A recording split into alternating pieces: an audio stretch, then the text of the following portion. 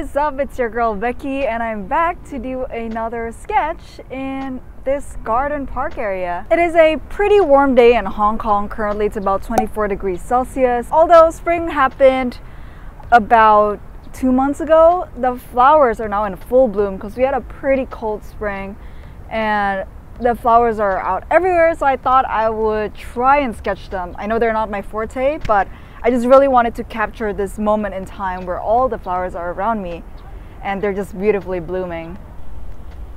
Just from this quick view alone, there's just so many flowers all around and I'm kind of bummed because I don't have opera in my palette, which now I think I should just add it in because all these flowers are really bright pink and they just really really pop. So I am hoping to be able to capture some of these brightness and at the same time if not I'll just have to come back with a more suitable palette.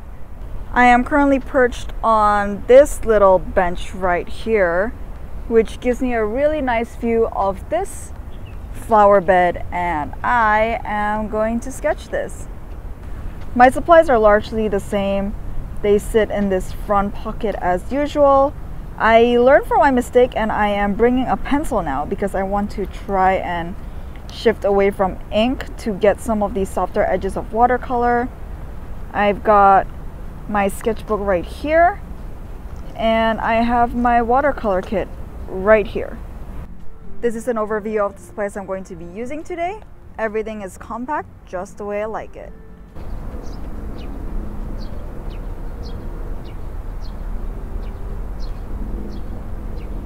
Gonna start off with a very light pencil sketch. I did not bring an eraser, so whatever happens in this sketch happens. I mean, there is an eraser here, but I would rather not have to go back and forth within some details. Okay, I'm gonna gonna place some of the flowers here. Kind of don't want them to have like a hard edge because I would rather develop that with watercolors. Let's see. Get the rush shape. goes down a little bit here. This one also coincidentally does that. And I'm going to place the tree bark on the back here for composition. I just don't want it to be in the center because it splits the page into left and right so slightly to the left. And I know there's a few stuff going on in the background but I'm gonna blur it all together because I don't want the forms to distract from my main focus which is the flowers. Now that this is done gonna cap this. Gonna bring out my watercolors. There you go. Missed them a little bit. Gonna use this one water brush nothing more. All right. I swear I've done this so many times, but I'm always very confused as to where to put my palette. Okay, so I'm going to start with... Oh my gosh, it's warm. It's getting warmer. I think this is why you don't go out midday. It's about... Uh, it's close to 12 noon here where I am and I should have gone a lot earlier but I didn't so that's on me. Um, the sky today is a little bit gray. Let's see if I can dull it down a little bit and I'm just gonna use a ton of water. Cool. Yeah if I dilute that enough that should work. Alright there we go. We settle on a placement. Bravo. Okay. Make sure you guys are on camera at all times.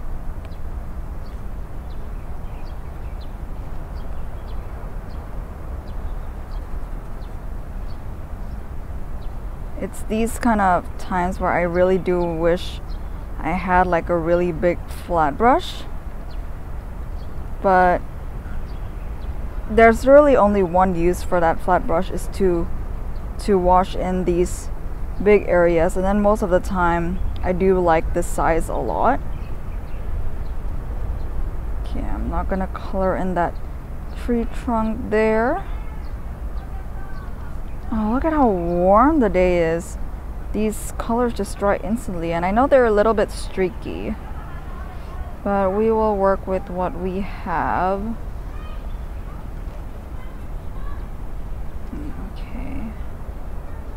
At least they're bright. I hope they do dry a little bit lighter. Then I'm going to start with the bottom. Gonna make a really bright pale peach color. Surely a little bit of purple wouldn't hurt.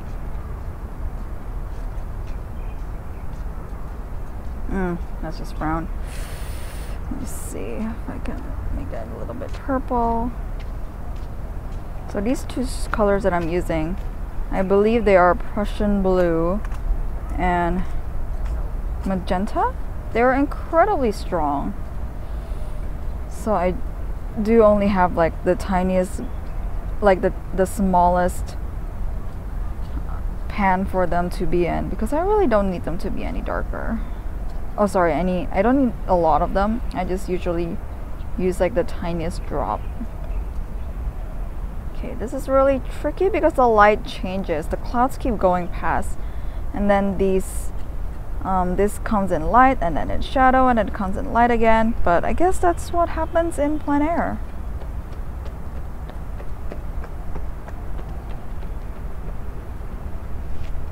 so funny to see the runners because that is also what I do I run in this exact same track and I kind of want to be like you go girl or like you go dude or you go you got it because they really do got it, but it sometimes it just feels really tiring. Okay. Now I'm gonna start with the flowers. I don't know how I'm gonna do this. See if I put in like white, does it make it pinker? Kind of, but it's not as pink as I want it to be.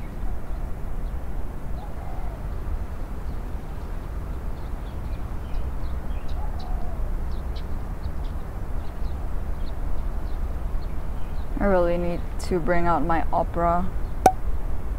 I know opera is always like such a hard color and people always say like, oh, it's not a light fast color. But, you know, this stuff is gonna live in my sketchbook and honestly, it will mostly be visible on my Instagram feed and there is no light fastness in Instagram. There's no light fastness in YouTube because you guys are, this is going to be up forever unless YouTube one day gets taken down.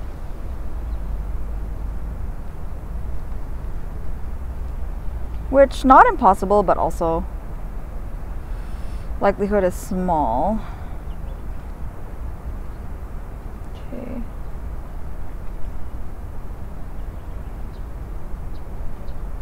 I'm just thinking if I want to go switch out opera, I'll probably like downsize this screen because I don't I use it, but barely any use of this pan, even though I use it a lot.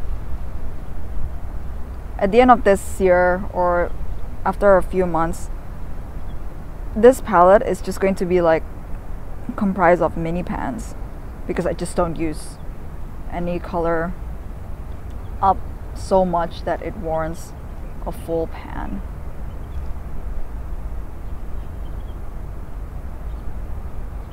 I honestly started off with all these um, full long rectangular pans and then just slowly but surely I just kept like chipping away.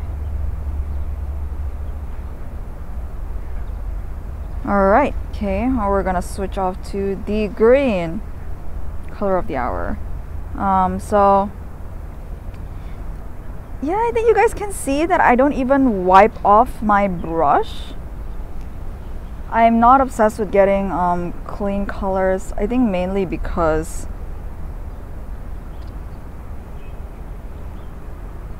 mainly because the colors if they're mixed together they're wonderfully muted and there's some sort of color harmony that I like that emerges out of these colors so I'm not too fussed about keeping a clean brush. And plus this is also a water brush, so maybe that's part of it. It's that with every stroke, I actually hardly press this thing unless in the beginning I'm just trying to create a really watered down wash. But I have used this brush long enough to know the frequent no not the frequency the flow of the brush the flow of the water that comes out of this brush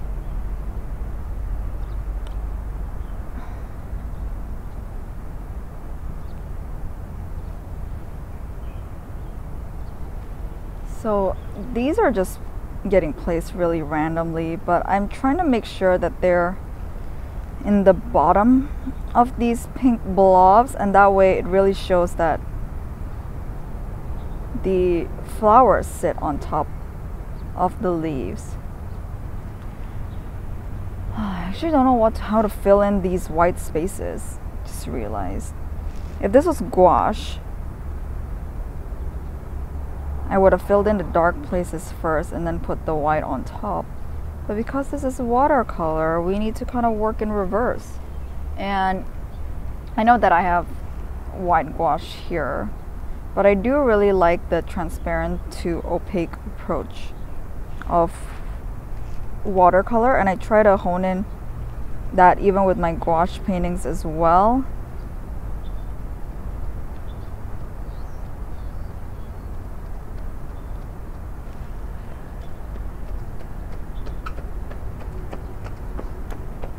Right, so see these these ones in the top I quite like because at least they can emerge on the sky.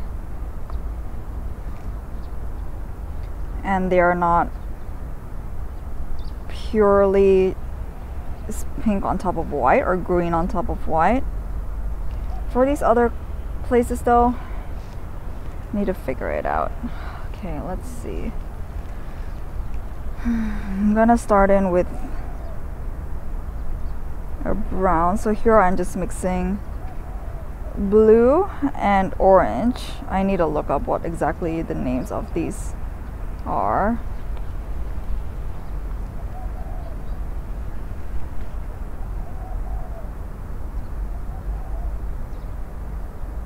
Just trying to dot them in places. There's not much of a structure to this really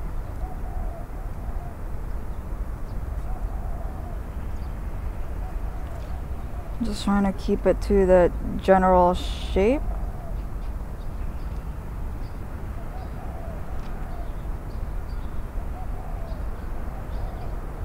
Ah, so these stitches, sometimes you gotta be careful because they do bleed to all the other pages that has um, these stitches, especially if you're doing like really heavy watercolor washes and there's something that you really need to keep transparent but I largely ignore them. I just think it's part of the sketchbook. Okay gonna put in that tree trunk as well. Oh that is a light wash. Yeah water brushes. Tend to give that if you spread the nylon. I think this is nylon. The nylon bristles brighter. I actually think this used to be white as well. I guess I've used it enough for it to change color. Okay. Gonna create a little bit more. Ooh, that was very jelly-like. A little bit more purple down here. And a little bit of brown. So I'm just gonna throw in that orange in there. Let's try to use this as a shadow color. Oh my god, that is such a strong shape. Okay, let me try to do this, break it up a little bit.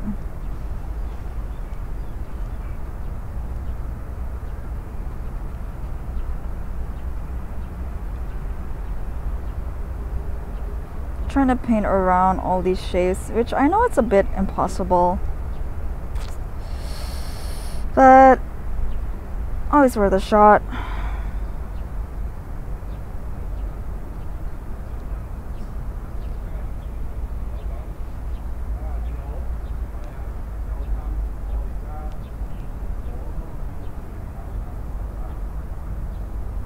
I'm just letting the pigment kind of wash or brush off my water brush so it does get lighter. And then I'm going to switch over to a green.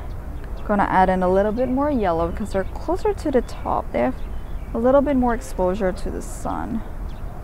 And this, even though it seems strong, will not dry as strongly.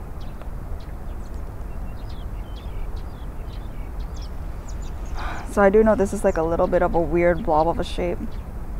Let's figure out how to unify those shapes later. But currently I'm just trying to fill in as much of these white spaces as I see them with these green.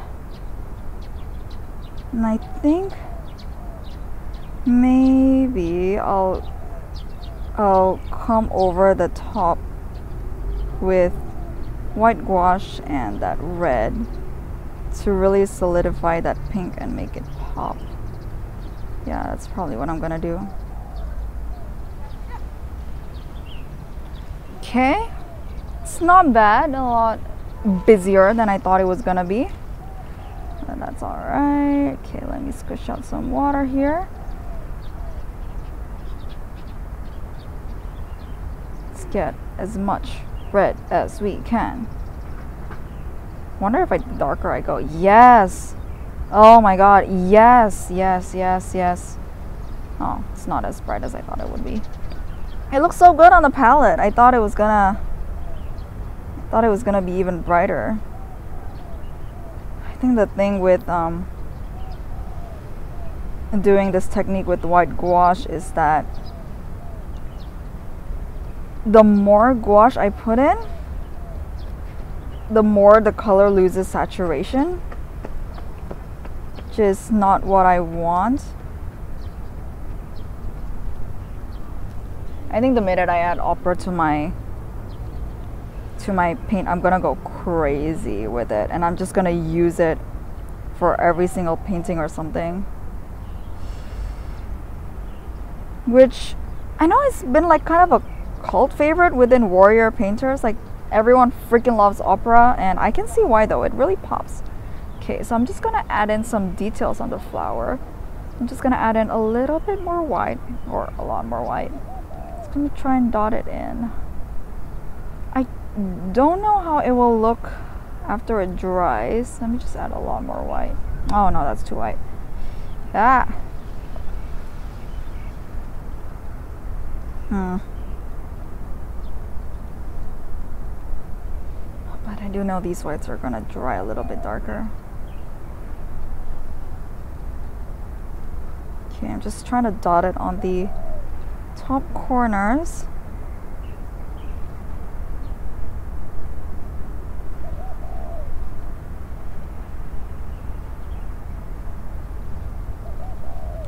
Okay, I'm I'm all right. I'm, I'm happy enough with this thing.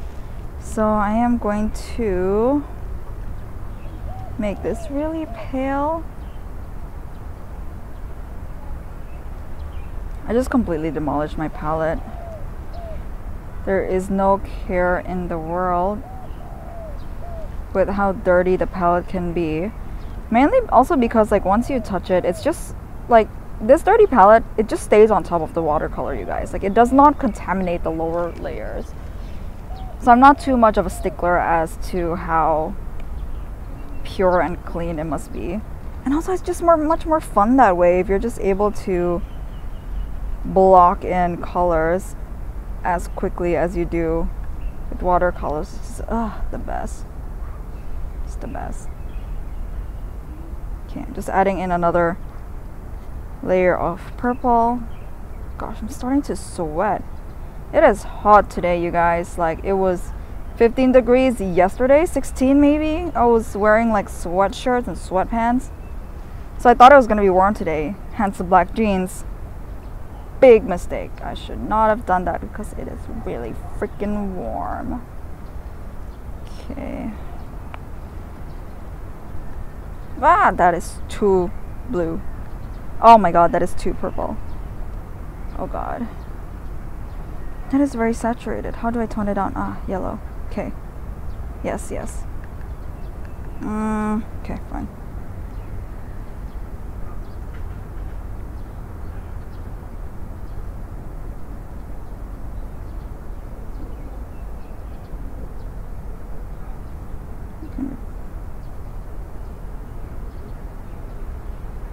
Just gonna drop in some. No, it's super busy.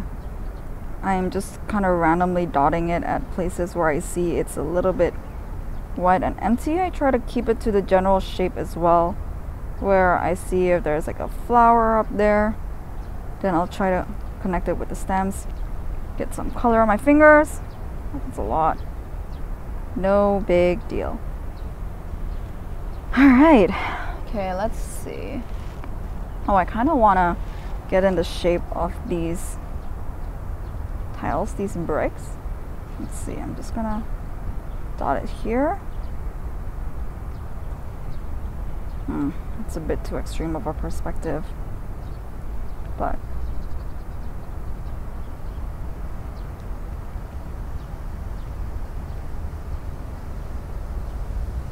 I don't know about you guys, but I like really love making these shapes and just stamping on shapes with my water brush or with like a flat brush. It's like one of my favorite things ever. I don't know why.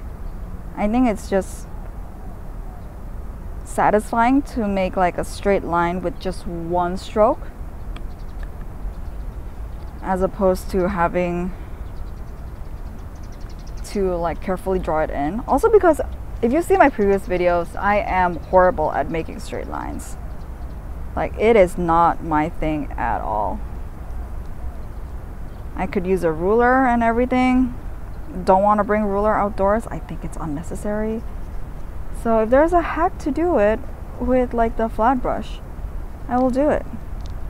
Okay, wait. Okay, I'm just now glazing, well, as, as best as I can this side of the shadow. Mm, glazing is basically you're covering like a whole area with like a really thin watered down layer. But the problem is with water brushes and this tiny brush, I can't really control it. Okay, Let's see what else I can do. Kind of want to add it dry brushing is also really hard with intentionally I intentionally wanted to dry brush this. It's not coming the way I want it to. That's fine. Oh there is a petal down here which I will try to get.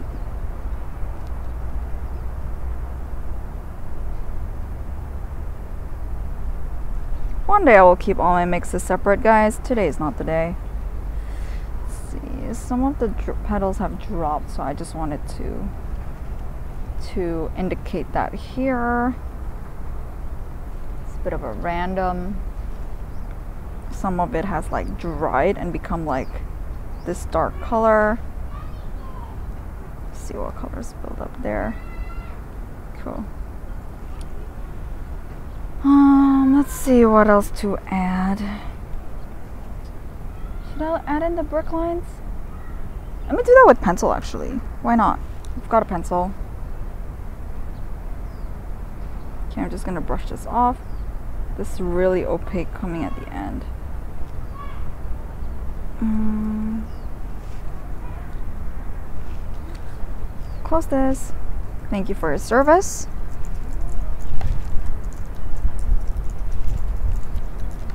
Thank you for your service. Let's put you to work.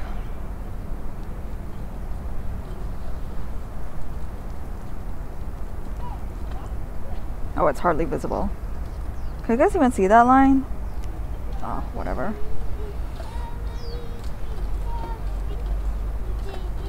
It's not straight!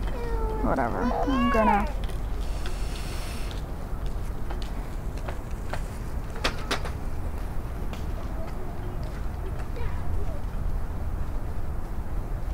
Just gonna add these in. Thankfully, these lines do not correspond necessarily with like none of them line up with each other. So I don't mind doing this.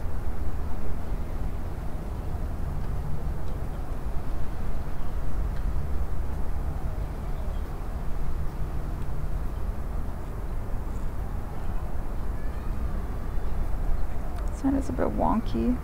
Can I erase this? No? Oh my god, this is like a totally useless pencil. So I thought theoretically, graphite is supposed to sit on top of paint because the paint gets absorbed to the paper. Oh, kinda. Let's see. Nah, not bad. We're done.